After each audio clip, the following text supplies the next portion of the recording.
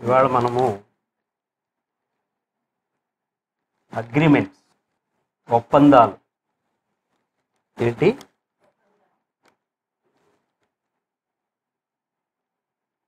చేసుకున్నారా? ఒప్పందాలు ఏమన్నా మీరు? చేసుకోవాలా చేసుకోలే. వెరీ గుడ్ ఏ ఒప్పందాలు లేవు. లేకపోతే హ్యాపీయే.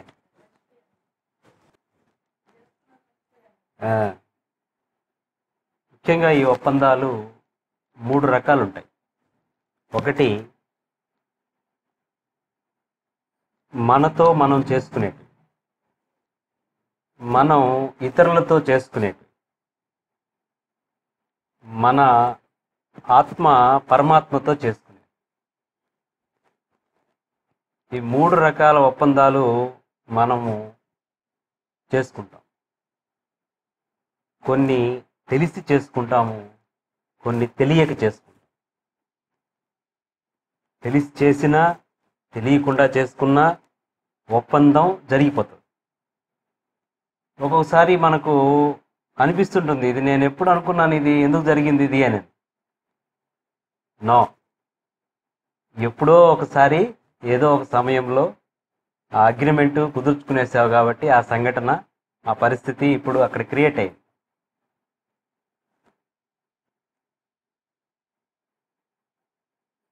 మొదటగా మనతో మనం చేసుకునేటివి.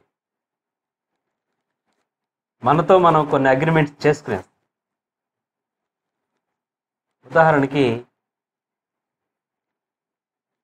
వంట చేయడం నాకు రాదు. నేను చేయలేను. బజార్కి ఒంటరిగా నేను వెళ్ళలేను.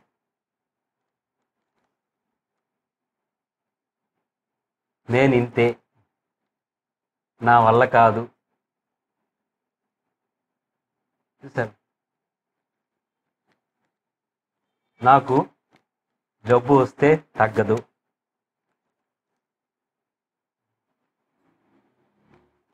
నేను ఎవరి మాట వినను. నేను ఎవరికి మంచి చేసినా నాకు చెడే జరుగుతుంది. చూసారు అంటే ఈ ఒప్పందాలు అనేటివి నెగిటివ్గాను ఉండొచ్చు పాజిటివ్గాను ఉండొచ్చు. మీ ఇష్టం మీ శక్తిని బట్టి ఈ ఒప్పందాలు జరుగుతూ ఉంటాయి. సో ఇలా మీరు ఎప్పుడైతే ఆ ఒప్పందాన్ని కుదుర్చుకునేస్తారో ఇంకా మీరు వంటగదిలోకి వెళ్ళి కెరటి పట్టుకున్నా కూడా ఆ వంట రాదు. ఇతరులకి ఎంత మంచి చేసినా కూడా మీకు మంచి జరగదు. అవసరమై బజారుకు పొమ్మంటే పక్కన తోడు కోరతారు మీరు. ఎందుకని? ఆల్రెడీ అగ్రిమెంట్ రాసి సంతకం పెట్టేస్తున్నారు వాళ్ళు నేను బజార్కి ఒంటరిగా వెళ్ళలేను. చీకటి అంటే నాకు భయము. కొంతమంది పిల్లల్ని కనడం అంటే భయం. లోపల క్రియేట్ చేసుకునేసి ఉంటారు అమ్మ పిల్లల్ని కనడం అంటే నాయన అది పెద్ద ప్రక్రియ అది. నాకు వద్దమ్మా అదే. అని ఎప్పుడైతే లోపల ఆ ఒప్పందం అగ్రిమెంట్ వాళ్ళకి వాళ్ళు చేసుకునేసి ఉంటారో లక్షలు ఖర్చు పెట్టి పెళ్ళి చేస్తారు. అర్థమైందా? వేల ఖర్చు పెట్టి హాస్పిటల్కి వెళ్తుంటారు పిల్లలకు కానీ ఎన్ని హాస్పిటల్ తిరిగినా సంతాన ప్రాప్తి కలగదు. ఏ హాస్పిటల్కి వెళ్ళి వెళ్ళినా ఒకటే డైలాగ్ ఆ డాక్టర్ ఈ డాక్టర్ ఏ డాక్టర్ అయినా. అమ్మ అన్నీ బాగున్నాయమ్మా. ఎందుకు కలగట్లేదో తెలియలేదు. సింపుల్. కారణం ఏంటి? ఈమె లోపల ఒక ఒప్పందం చేసుకోనుంది తనకు తాను. ఇప్పుడు ఏం చేయాలి ఆమె?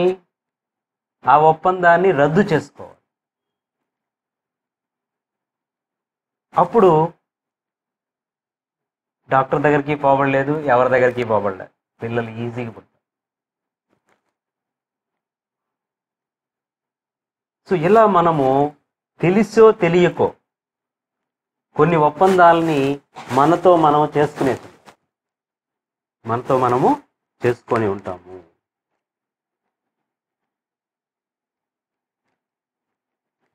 అలాగే నేను మంచివాడిని నేను ఎప్పుడు మంచి పనులే చేస్తాను నేను అందరికీ సహాయం చేస్తాను ఇలా కూడా అనుకోవచ్చు. అనుకోకూడదా? ఇవి కూడా అగ్రిమెంట్సే ఇవి కూడా ఒప్పందాలే. మనతో మనం చెప్పుకునేటువంటి మాటలే మన ఒప్పందాలు. అందుకంటే ఇంకేం లేదు వెరీ సింపుల్. మరి ఎప్పుడైతే మనకు ఒక పాపము ఒక కర్మ దాని ఫలితము ఇవన్నీ తెలిసి వస్తాయో అప్పుడు మనం చేసేటువంటి పనుల్లోనూ మాటల్లోనూ ఖచ్చితంగా ఏమొస్తుంది? మార్పు వస్తుంది. అంటే ప్రతి కర్మకి ఒక ఫలితం ఉంటుంది. ప్రతి మాటకి ఒక ఫలితం ఉంటుంది. అలాగే ప్రతి పనికి కూడా ఒక ఫలితం. ఎలాంటి కర్మలు చేస్తే అలాంటి ఫలితాలు వస్తాయి? ఎలాంటి మాటలు మాట్లాడితే అలాంటి అనుభవాలు వస్తాయి. ఎలాంటి పనులు చేస్తే అలాంటి ఫలితాలు పొందుతాము సో ఇది తెలుసుకున్నప్పుడు ఏం చేస్తాం మనము మన అగ్రిమెంట్లో మార్పులు చేసుకుంటాం. చేసుకోవాలి. ఇప్పటి వరకు నా జీవితం ఇలా సాగింది. కారణం ఎవరు? నేను. నేను నాతో చేసుకున్నటువంటి అగ్రిమెంట్. సో అలాగే మనం ఇతరులతో చేసుకునేటువంటి ఒప్పందం. అంటే ఇవి కూడా జరిగిపోతుంటాయి అప్పుడప్పుడు. ఒక ఆవిడ అంటుంది మీరు ఏదో ఫంక్షన్కి వెళ్ళేటప్పుడు ఒక పట్టు చీర కట్టుకున్నారు. కట్టుకోగానే ఆవిడ వస్తుంది కూడా. ఏమక్క ఎలా ఉన్నావు? ఏడకి రెడీ అవుతున్నావు? అని ఆమె వచ్చి అక్క పట్టు చీర నీకు బాగుండదక్క వద్దు కట్టుకోబాకు అని ఎప్పుడైతే ఒక మాట అనిందో మీ మనసులో అది పడిందనుకోండి ఆ బీజం అక్కడ ఒప్పందం జరిగిపోతుంది. అరే ఏమింది? ఇలా అనింది ఏమి? ఎందుకనింది? ఇది నిజమేమో? అని ఎప్పుడైతే మీరు భావిస్తారో అక్కడ అగ్రిమెంట్ జరిగిపోతుంది. ఇక అప్పటి నుంచి మీరు ఎప్పుడు పట్టు చీర కట్టుకున్నా మీలో ఎక్కడో తెలియనటువంటి ఆ- లోటు కనిపిస్తూ ఉంటుంది. అసలు కట్టుకోవడం మానేస్తారు ఫస్ట్. ఒకవేళ కట్టుకున్నా కూడా ఆ ఫంక్షన్లో మీరు పోయి ఆడ మనసు స్థిమితంగా ఉండలేరు. నా పట్టు చీరను చూసి వాళ్ళు ఏం కామెంట్ చేస్తున్నారు? చూసారు ఇలా మీరు అనుక్షణము దాని గురించి ఆలోచి నీకు డ్యాన్స్ రాదమ్మా నీకు కష్టం నువ్వు డ్యాన్స్ చేయలేవని ఒకరంటే దాన్ని పట్టుకునే. ఇది నీ వల్ల కాదు నువ్వు చేయలేవు నువ్వు వింతే నువ్వు మారవు అని ఎవరన్నా అంటే మనం అక్కడ దానికి అగ్రి అయిపోతాం. తెలిసినా తెలియకపోయినా ఒక్కొక్కసారి ఏమైపోతాం అంటే బైండ్ అయిపోతుంటాం వాళ్ళు.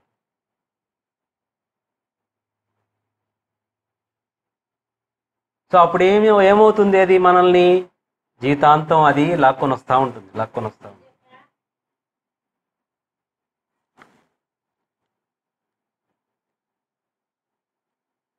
అలాగే ఇతరుల్ని నిందించడం ఇతరుల్ని విమర్శించడం ఇతరుల మీద కంప్లైంట్ చేయడం. ఇవన్నీ కూడా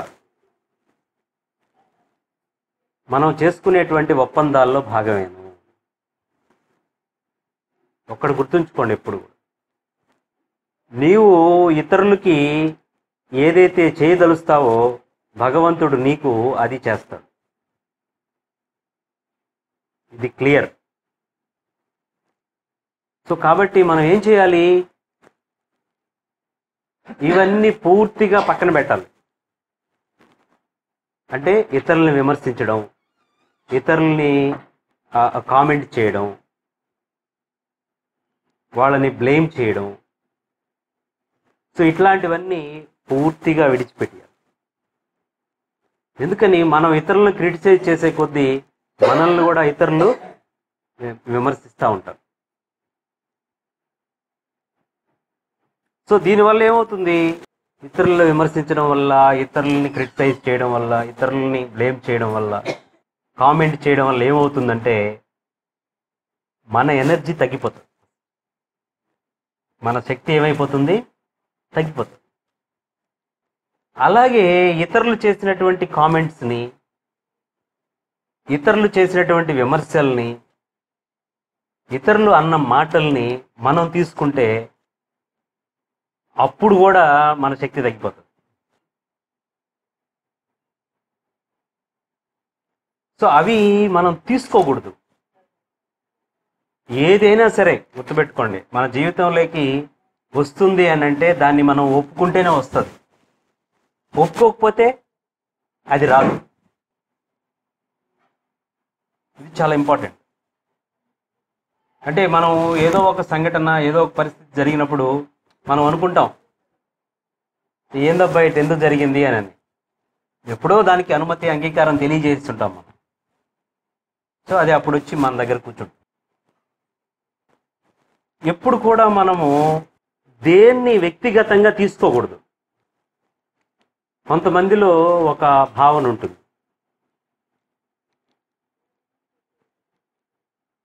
మనము ఎక్కడికన్నా వెళ్ళినప్పుడు ఎడన్నా కూర్చున్నప్పుడు ఒక ప్రత్యేకమైన దుస్తులు మనం వేసుకున్నప్పుడు కానీ ఎవరన్నా ఒక ఇద్దరు ఏదన్నా మాట్లాడుకుంటా పోతుంటే వాళ్ళు నా గురించి మాట్లాడుతున్నారేమో వాళ్ళు నా గురించి అనుకుంటున్నారు. యాక్చువల్గా వాళ్ళ డిస్కషన్ వేరే.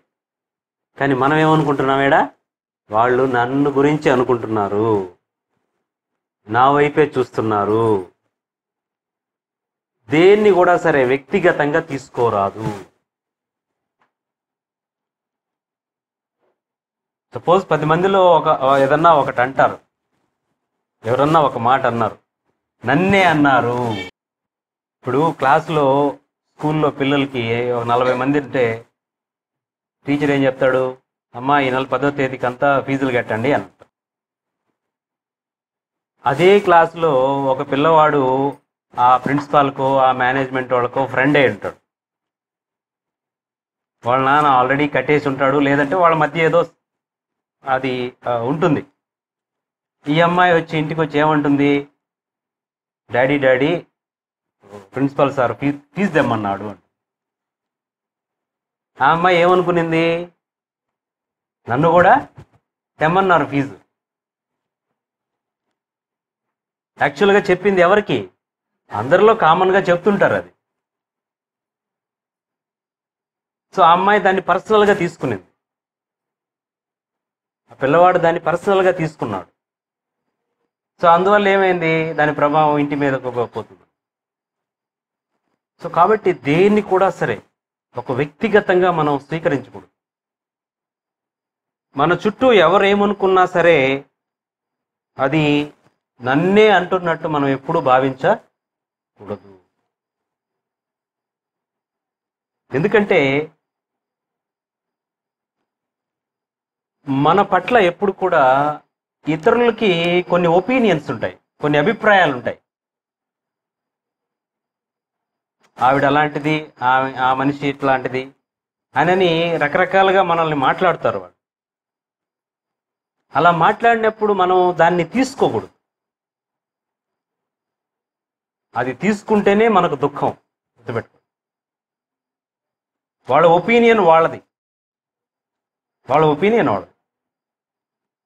మరి వాళ్ళు ఎందుకు అలా నన్ను అన్నారు? ఎందుకు అని ఉంటారు అని అంటే యాక్చువల్గా వాళ్ళ పట్ల వాళ్ళకే క్లారిటీ లేదు. ఇంకా నీ పట్ల వాళ్ళ క్లారిటీ ఎట్లుంటుంది గమనించండి. వాళ్ళకే వాళ్ళ పట్ల క్లారిటీ లేనప్పుడు ఇతరుల పట్ల వాళ్ళ క్లారిటీ ఎట్టొస్తుంది? సో వాళ్ళు అలానే మాట్లాడతారు. ఇప్పుడు ఒకడు వచ్చి నన్ను పంది అన్నాడు అనుకో వెంటనే నేను నేను పందినా అని అనుకోకూడదు. అనుకోకూడదు. ఎందుకని? ఎందుకని? వాడికి నేను అలా కనబడ్డా? సరే అందులో ఫాల్ట్ నాది కాదు. వాడిది. ఎందుకంటే వాడి ప్రజ్ఞ అట్నే ఉంది. వాడి స్థితి అట్టుంది. అందువల్ల ఖచ్చితంగా వాడికి అలానే కనబడుతుంది. ఇప్పుడు క్లాస్లో కొంతమంది వచ్చి కంప్లైంట్ చేస్తుంటారు టీచర్కి. సార్ నన్ను మారు పేరుతో పిలిచాడు సార్ వాడు. నన్ను అట్ట అన్నాడు సార్. నన్ను ఎట్టన్నాడు సార్ అని చెప్తుంటారు. వాడి పేరు రాజే అయితే వీడు ఏదైనా పుల్లయ్య అని పిలుచుంటాడు. వాడు వచ్చి కంప్లైంట్ చేసినప్పుడు వరే నువ్వు పుల్లయ్య రా అని అడుగుతాను కాదు సార్. మరి నీకెందుకు? నువ్వెందుకు పట్టించుకోవాలి? నువ్వు పుల్లయ్య కానప్పుడు వాడు అన్నదాన్ని మనం ఎందుకు పట్టించుకోవాలి? ఎప్పుడు కూడా సరే ఇవి చాలా ఇంపార్టెంట్ మన భౌతిక జీవితంలో. తెలియకుండానే మనం వాళ్ళతో అగ్రిమెంట్ చేసుకునేస్తుంటాం. ఫలానా ఫంక్షన్లో ఫలానా ఆవిడ నన్ను ఇలా అనింది. ఆ ఫంక్షన్ ఐదు సంవత్సరాలు అయింది ఇప్పటికీ ఆమె దాన్ని తలుచుకుంటాం. అగ్రిమెంట్ అక్కడ ఆమె ఆ చెవు అట్టేసేసింది ఎస్ ఆమె ఎవరు ననిందో తర్వాత విషయం. ఇప్పుడు యాక్చువల్గా మాయ బజార్లో ద్రౌపది దేవి దుర్యోధనుడిని చూసి నవ్వలేదాడ. ద్రౌపది మహాసాధ్వి ఆమె. ఆయన కాలు జారినంత మాత్రాన ఆవిడ నవ్వదు. వాళ్ళ చెలికెత్తెలతో ఆ సందర్భంలో వాళ్ళు ఏదో జోకులు వేసుకొని నవ్వుకుంటూ ఉన్నారు రూములో. ఈయన కాలు జారినప్పుడు ఆ నవ్వు ఇతనికి కనబడి ఆయన ఏం చేశాడు? దుర్యోధనుడు అక్కడ దాన్ని వ్యక్తిగతంగా తీసుకున్నాడు. నన్ను చూసి నవ్వింది. దానికి ప్రతిఫలం ఏం జరిగిందో మనందరికీ సో కాబట్టి దేన్ని మనం పర్సనల్గా తీసుకోకూడదు. ప్రతిరోజు మనం ఇలా అనుకోవాలి ఎప్పుడు కూడా. ఏమని? నేను పూర్తి స్వేచ్ఛగా ఉన్నాను. ఇతరుల యొక్క మంచి చెడు అభిప్రాయాల పట్ల నేను పూర్తి స్వేచ్ఛగా ఉన్నాను. వాళ్ళు మన్ నన్ను మంచి అనుకున్నా నాకు సంబంధం లేదు. వాళ్ళు నన్ను చెడు అనుకున్నా నాకు సంబంధం లేదు. సో ఇతరుల అభిప్రాయాలతో మనము ఎప్పుడు కూడా బందీ కావాల్సిన అవసరము వాళ్ళ అభిప్రాయం వాళ్ళది. దట్స్ ఇట్ అంతే. అది వాళ్ళతోనే ఉంటుంది. వాటిని మనం తీసుకుంటే అది మన జీవితంలోకి వస్తుంది. బుద్ధుణ్ణి కూడా ఒక ఆవిడ నానా విధంగా దూషించింది. కానీ వాటిని బుద్ధుడు తీసుకున్నాడా? తీసుకోవాలి నీ దగ్గరే ఉంచుకో అమ్మా నువ్వు అన్నాటివన్నీ అని సో కాబట్టి ఇతరుల అభిప్రాయాలను మనం ఎప్పుడు వ్యక్తిగతంగా తీసుకోకూడదు. ఇతరులు ఎప్పుడు కూడా మనల్ని ఏమీ చేయలేరు. మన అనుమతి అంగీకారం లేకుండా. మనం అనుమతిస్తేనే ఏదైనా సరే వాళ్ళ అన్న మాట అయినా ఏదైనా మన జీవితంలోకి వస్తుంది. మన అనుమతి ఇవ్వకపోతే అది రాదు. ఈ అనుమతి ఇవ్వడమే అగ్రిమెంట్ అవ్వడం. అంతే. ఒప్పందం చేసుకోవడం. సో కాబట్టి ఎవరితోనూ మనము వాళ్ళ అభిప్రాయాలకి అగ్రి కావాల్సిన అవసరం లేదు. మనము ఒక్కొక్కసారి ఇతరులతో ఎందుకు అగ్రి అవుతామనంటే వాళ్ళు చెప్పింది నిజము అని మనం భావించడం వల్ల. వాళ్ళు చెప్పింది నిజము అని మనం భావించేస్తాం. అరే నిజమే కదా? ఆవిడ అలా అనిందంటే కరెక్ట్ ఏమో అని ఎప్పుడైతే అనుకుంటామో ఎస్ అది మనలోకి వచ్చేస్తుంది. సో ఇవన్నీ మనము ఇతరులతో చేసుకునేటువంటి ఒప్పందాలు. తర్వాత ఆత్మతో కొన్ని ఒప్పందాలు చేసుకుంటాం మనం. ఆ పరమాత్మతో చేసుకొని ఇక్కడికి వస్తాం ఒప్పందాలు. ఏమని? నేను భూమి మీద ఒక స్త్రీ జన్మ తీసుకొని అక్కడ నేను ఈ పనులన్నీ చేసేసి వస్తాను అని అక్కడ ఒక ఒప్పందం అగ్రిమెంట్ చేసుకొని ఈ భూమి మీదకి ల్యాండ్ అయిపోయాను. అలాగే ఒక పురుష జన్మ తీసుకొని నేను ఈ పనులు చేస్తాను. సో ఇలాగా ఆ పరమాత్మతో మనము ఒప్పందం చేసుకొని మరీ ఇక్కడికి వస్తాం. కోర్స్ మనం ఆ ఒప్పందాన్ని ఏం చేస్తున్నామేడా మరిచిపోతున్నాం. ఆయనతో చెప్పిన ఒప్పందాలని మరిచిపోతున్నాం. ఆ ఒప్పందం మర్చిపోయాం కాబట్టి మనల్ని బాధలు కష్టాలు ఇవన్నీ వెంటాడుతున్నాయి. ఆ ఒప్పందం గుర్తు చేసింది అనుకో ఇక నాకు దుఃఖాలు మాయం.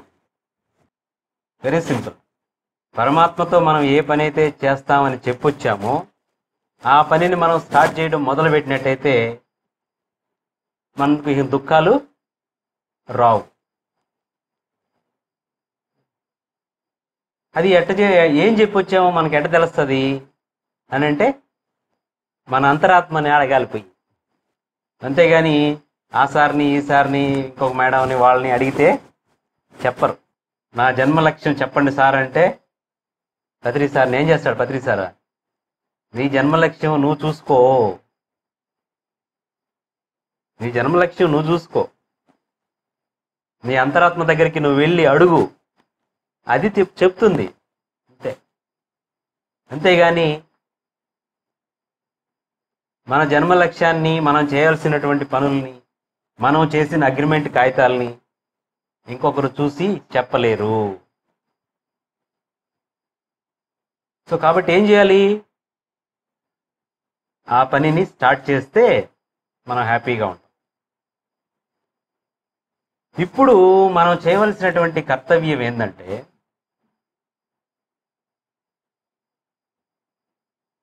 ఆ పరమాత్మతో చేసినటువంటి ఆ ఒప్పందం ఏదైతే ఉందో అది మనకు గుర్తుకి రావాలి అని అంటే ఇక్కడికి వచ్చిన తర్వాత మానవ ముసుగు వేసుకొని మనము ఈ పై రెండు ఒప్పందాలు చేసుకున్నాం మనం. మనతో మనం కొన్ని మనం ఇతరులతో కొన్ని. ఇవి రెండిటిని ఈ అగ్రిమెంట్స్ని మనం ఒప్పందాలని రద్దు చేసుకోవాలి. ఫ్రెండ్స్ గుర్తుంచుకో. ఈ రెండు ఒప్పందాలు రద్దు కానంత వరకు ఆ పరమాత్మతో ఒప్పందం మనకు గుర్తుకు రాదు. మనంతో మనతో మనం చేసుకున్న ఒప్పందాలని ఫస్ట్ రద్దు చేసేయాలి. రద్దు చేసేయాలి. ఎలా చేయాలి? రద్దు చేయడం అంటే ఎలా చేయాలి? వెరీ సింపుల్ తలుపు తీస్తే లోపలికి వచ్చారు బంధువు తలుపు వేస్తే బయటికి వెళ్తాం అంతే కదా? మనమే కదా వాళ్ళ లోపలికి రమ్మన్నాం. కాబట్టి మనం ఏం చేయాలి? బయటికి మనమే పంపించాలి వెరీ సింపుల్ మీరు అనుమతి ఇవ్వాలి అవి రద్దయిపోయేదానికి. అంతకంటే మనం చేయాల్సింది ఇంకేం లేదు. మనం ఏం చేయాలి? మన అంగీకారము మన అనుమతి మనం తెలియజేయాలి అంతే. హాయిగా ఒక రెండు గంటల ధ్యానంలో కూర్చొని తెలిసో తెలియకో ఈ జన్మలో కానీ ఈ శరీరంతో కానీ నా అన్ని శరీరాలతో అన్ని జన్మల్లో నాతో నేను చేసుకున్నటువంటి అన్ని ఒప్పందాలని ఇంకొక మాట యాడ్ చేద్దాం. అన్ని సరికాని ఒప్పందాలని. నేను ఈ క్షణమే సంపూర్ణంగా శాశ్వతంగా రద్దు చేసుకుంటున్నాను. అని ఎప్పుడైతే మనం అనుకుంటామో కూర్చొని రెండు గంటలు ధ్యానం చేస్తే అవన్నీ డిజాల్వ్ అయిపోతాయి కరిగిపోతాయి. సో కాబట్టి మన అనుమతి ఇవ్వడం ద్వారా అంగీకారం తెలియడం తెలియజేయడం ద్వారా మాత్రమే మనతో మనం చేసుకున్న ఒప్పందాలని అతి సులభంగా రద్దు చేస్తాం. ఇంకో కొన్ని ఒప్పందాలు. రెండోది ఏంటి? ఇతరులతో చేసుకునేటివి. ఇవి ఎలా రద్దవుతాయి? ఇవి ఎలా రద్దవుతాయి? ఎవరో ఒక ఆవిడ మిమ్మల్ని బాగా ఇబ్బంది పెడుతుంది బాధ పెడుతుంది. బాధ పెడతాం. ఆల్రెడీ ఆవిడతో మీరు ఒప్పందం చేసుకున్నారు అమ్మ నువ్వు బాధ పెట్టు నన్ను ఫలానా టైంలో వచ్చి అని. దాన్ని ఏం చేయాలి మీరు? ఆ ఒప్పందాన్ని ఆ కాగితాలు చించేయాలి. ఇక్కడ ఇంకొంచెం సాధన పెంచాలి. ఇంకొంచెం సాధన మనం పెంచుకోవాలి. అంటే ఇతరులతో చేసుకునేటువంటి అగ్రిమెంట్స్ అనేటివి కొంచెం పవర్ఫుల్గా ఉంటాయి. మనతో మనం ఓకే ఈజీగా అవి పోగొట్టుకోవచ్చు. ఎందుకంటే మన మన ఇల్లు మనం క్లీన్ చేసుకుంటాం. అదే ఇతరులతో చేసుకున్నటివి క్లీన్ చేసుకోవాలి అని అంటే మాత్రము రద్దు చేసుకోవాలంటే మాత్రము కొంచెం మరింత శక్తిని మనం వాడాలి.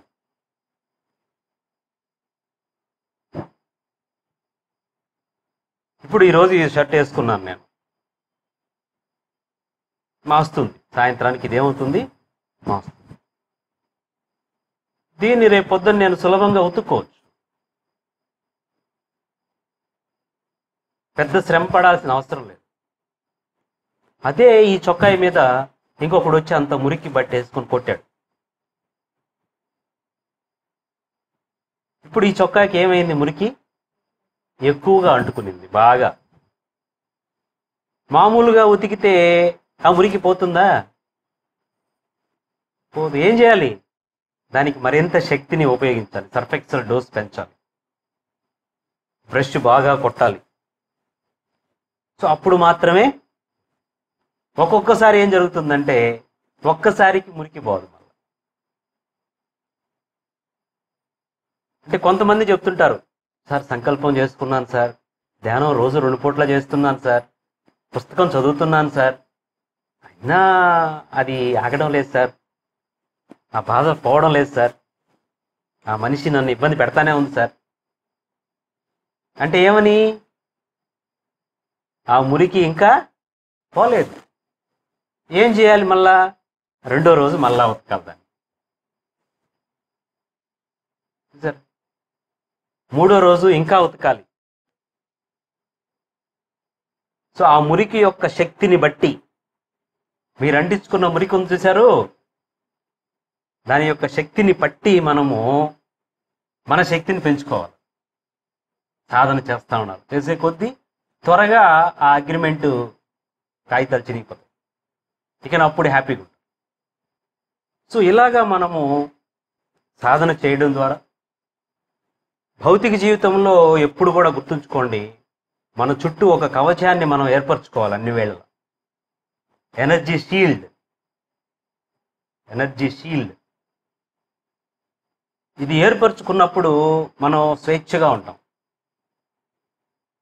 ఎవరన్నా ఏమన్నా అన్నా కూడా సరే ఆ షీల్డ్ దాటి మన దగ్గరికి రాకూడదు అది. రాకూడదు. వెరీ సింపుల్ ఎలా షీల్డ్ ఏర్పరచుకోవాలి సార్ అంటే ధ్యానంలో కూర్చొని ఒక్కసారి విజువలైజ్ చేసుకోండి ఊహించుకోండి. మీ చుట్టూ మీ పూర్ణాత్మ నుంచి ఒక అద్భుతమైనటువంటి కాంతి క్షేత్రాన్ని ఊహించుకోండి. మంచి కాంతి మన మన చుట్టూ ఉన్నట్టు ఊహించుకోండి. ఊహించుకొని ఏమనుకోవాలి? నాలేకి వచ్చేది ఏదైనా సరే. అది సత్యమే అయి ఉండాలి. ఇంక ఏది నాలేకి రాకూడదు. అని ఒక్కసారి అనుకొని వాళ్ళు ఊహించుకోవడం ఫినిష్. ఇంకెవరు ఏమన్నా అక్కడికి వచ్చి వెళ్ళిపోతుంటారు. చాలా సినిమాల్లో మనం చూస్తుంటాం. శివుడు ధ్యానం చేస్తుంటే ఆ చుట్టుపక్కల తన ఆరాలేకి ఎవరు ప్రవేశించలేరు. మన్మథ బాణాలు ఎన్ని వేసినా అవి అక్కడికక్కడికే మసి అయిపోతుంటాయి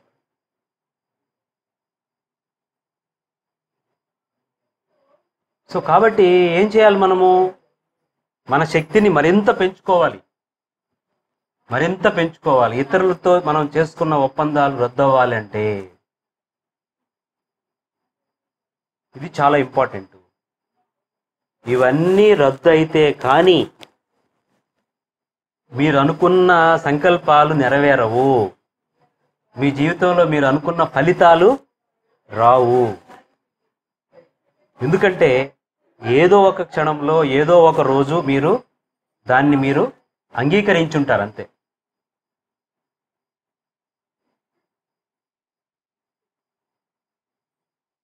సో కాబట్టి మనం ఏం చేయాలి?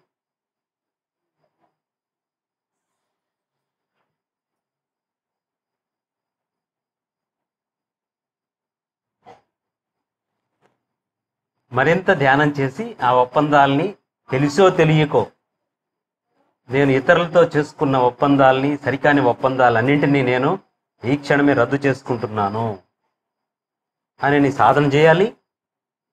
మన భౌతిక జీవితంలో నేను స్వేచ్ఛగా ఉన్నాను. నేను స్వేచ్ఛగా ఉన్నాను. అది మంచైనా చెడైనా ఇతరులు ఏదన్నా సరే నాకు ఎలాంటి సంబంధం లేదు. ఇతరుల యొక్క అభిప్రాయాలతో నాకు ఎలాంటి సంబంధము లేదు. వాటిని నేను తీసుకోవట్లేదు.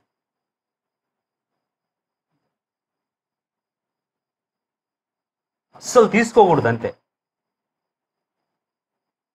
వాళ్ళు మనల్ని అలా అంటున్నారు అని అంటే అది వాళ్ళ తప్పు కాదు. వాళ్ళ శక్తి వాళ్ళ స్థితి వాళ్ళ పరిస్థితి అలా ఉందా అలా ఉంది అంతే. అందువల్ల వాళ్ళు అలా అంటారు. వాడి జ్ఞానం అంతే.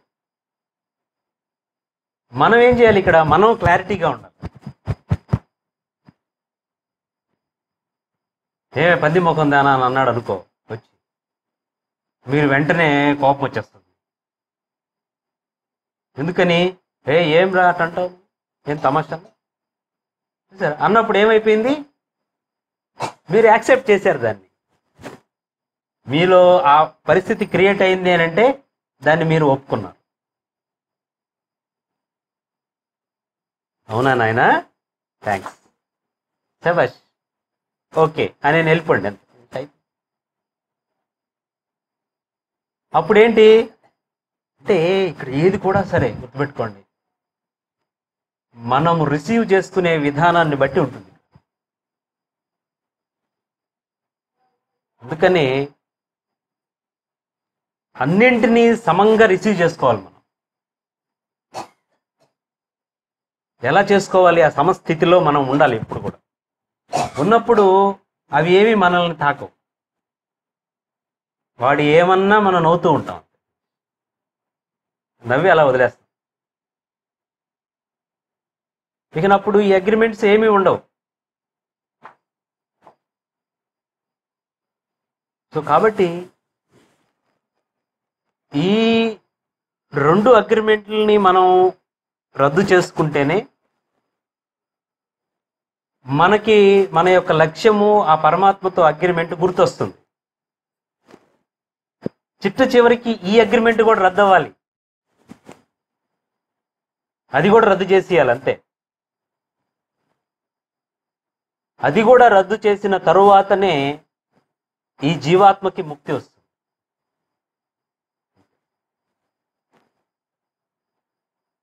అది కూడా రద్దు కానంత వరకు మళ్ళీ ఏం చేస్తుంటాం అంటే మళ్ళీ వస్తుంటాం పోతుంటాం వస్తుంటాం పోతుంటాం.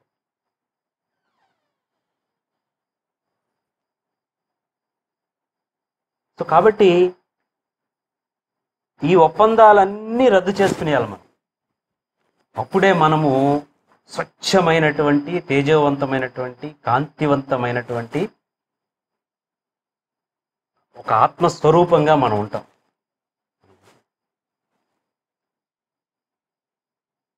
అలా కానప్పుడు ఏం చేస్తుంటాము అని అంటే వీటిలో ఇరుక్కునేసి జీవితాన్ని రకరకాలుగా రకరకాలుగా అనుభూతులు చెందుతూ అనుభవిస్తూ ఉంటాం.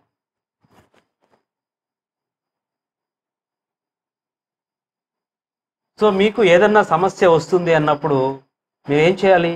ఓ ఈ సమస్యతో నేను ఎప్పుడన్నా ఒప్పందం చేసుకొని ఉంటే సో దాన్ని నేను ఈ క్షణమే వదిలేస్తాను. బేషరతుగా ఎలాంటి షరతులు లేకుండా మనం ఆ ఒప్పందాన్ని రద్దు చేయాలంతే సో అప్పుడు మాత్రమే మనం అనుకున్నటువంటి సంకల్పాలన్నీ నెరవేరుతా వస్తాయి.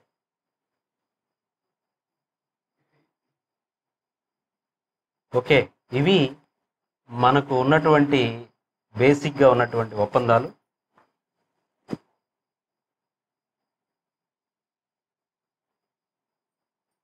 Thank you